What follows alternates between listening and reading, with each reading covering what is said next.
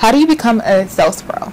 A sales pro, uh, a real estate professional, a shark, a wolf. How do we become that uh, in real estate? I think that kind of piggybacking off of another video that we've made recently is really you're not going to start off that way. I think that it's really important. You know, for me, in the very beginning of my career, I hadn't sold anything. I had leased a lot of things, but my first two transactions fell out. They busted out, and that was a heartbreaker. You know, eight years ago when I started my real estate career, the first six, seven months of my real estate career were nothing but leases, and I did get a listing and a buyer under contract. The buyer was new construction, the listing had a crazy lien on the house, and eventually we got all the way almost to closing on both of them, and they both busted out. So lots of pain in the beginning of my six, seven month real estate career. But, uh, you know, I was not a shark, I was not a wolf, but I had to eventually get over those losses, and embody or take on the mindset of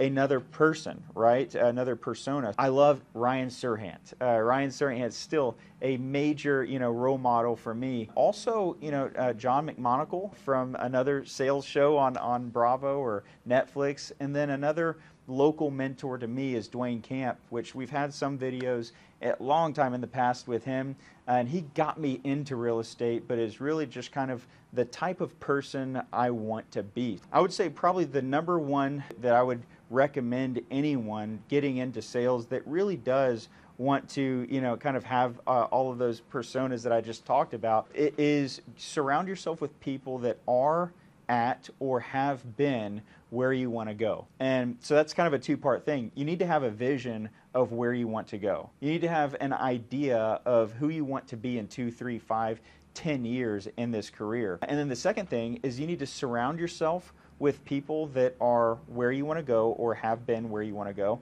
Uh, and the way I did that was with a coach. I hired a coach uh, about, I'd say maybe six, seven months before I launched the Bridge Group. And I should have hired a coach way before that. But that coach allowed us to say, hey, this is how we're going to set up your company. This is how we're going to set up your business. And not what do you want your business to look like now? What do you want your business to look like in five, ten years? And that's how we set our company up. So, as far as being a sales professional, it starts with planning and it starts with surrounding yourself with someone that is where you want to be and listening to them, humbling yourself, listening to them, learning from them.